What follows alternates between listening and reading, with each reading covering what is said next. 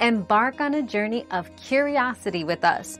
What fascinating questions are we exploring today? Yes, eye color can change over time without surgery, mainly due to age, exposure to the sun, and certain medications. Infants, for example, often start with blue or gray eyes.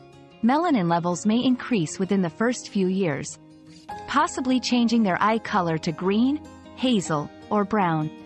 Similarly, aging can lead to a decrease in pigment, subtly altering eye hue. Prolonged sun exposure can also affect melanin levels, potentially leading to minor changes. However, these shifts are usually slight and gradual.